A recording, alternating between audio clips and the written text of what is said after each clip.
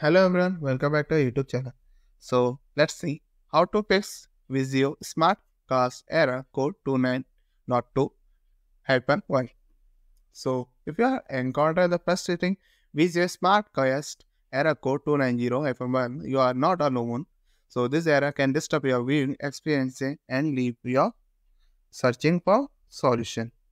So fortunately, there are several troubleshooting steps you can take to address this problem. So in this particular video, we will explore effective method to resolve this problem.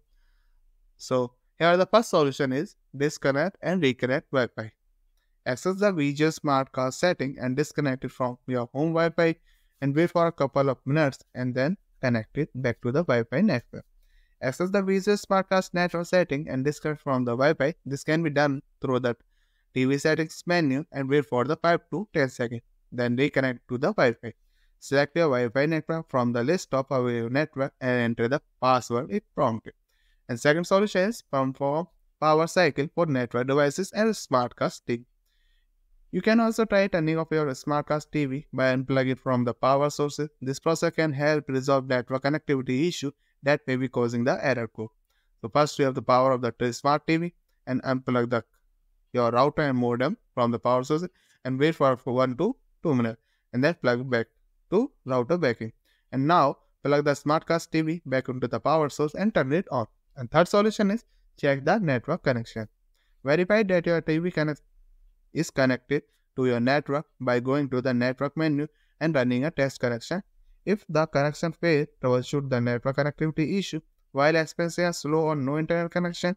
So it is suggested to reboot the Wi-Fi router and depend on the internet usage and how often it is needed to reboot a Wi-Fi router. So these are the steps to following starting the Wi-Fi router. Simply switch off the router and unplug it from all the devices and power supply. And wait for 3 minutes and then plug it back up. So now wait for the signal to come back and connect to the internet through it. You can check your internet speed by clicking here. And fourth solution is factory reset Vizio Smart Cast. As a last result,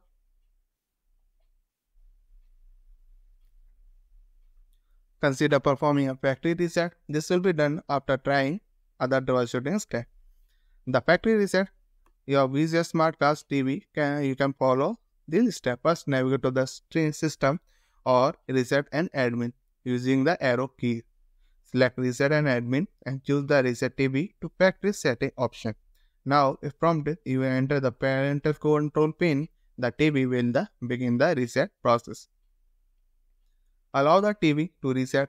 You may take a few minutes. Once the reset is complete, then TV will start and you will need to go through the initial setup process again. And fifth solution is contact Vizio support. If the issue persists, those it is recommended to contact Vizio support center for further assistance. They may guide you with better option will help you resolve this issue even better. Thank you for watching this video. I hope you like it. We will catch you in next video.